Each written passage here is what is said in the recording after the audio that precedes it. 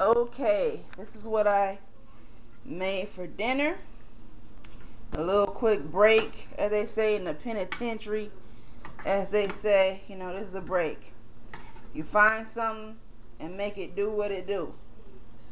You find some noodles, you find some onions and some beef sausage, cook that up with some uh, cream of broccoli soup, and there you have dinner. When you don't have much, you make a break.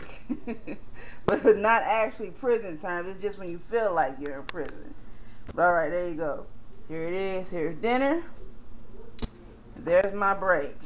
All right. Peace out.